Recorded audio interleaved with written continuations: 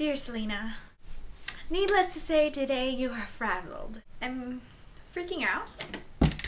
Shit. Today I will be going to OC for a performance by Phil and Sarah Kay, which are probably hands down my favorite poets of the 21st century. But, of course, turn of events, it doesn't come that easy. Can't even be excited about this event because uh, there's so many things happening all at the same time. Reason number one why I'm freaking out.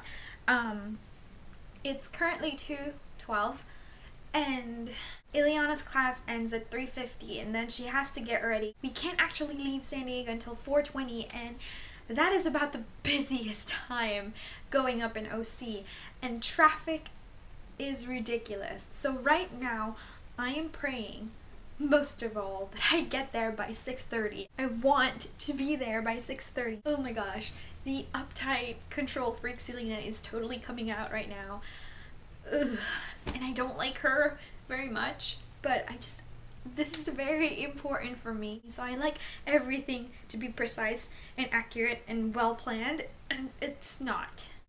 I'm anxious, I'm anxious, I'm frazzled because I actually was in Fullerton yesterday. So I drove four hours yesterday. I'm gonna drive another four hours, more actually. I'm gonna drive at least five hours today, and then tomorrow I'm driving again. I have no idea where I'm gonna get this energy. Are you kidding me? So I'm recording and I'm done. I'm finally done with my whole spiel. And I go to check the camera and it's off. okay. I guess this day is just not going to turn out in a peaceful manner. I'm debating on getting coffee because I know it's going to make me even more uptight than I already am right now. Um, so I might just get tea. Okay, I'm gonna shut up now. Just, uh. Okay, I'm going, I'm going, I'm going. Okay, I'm going and um, mm, here goes.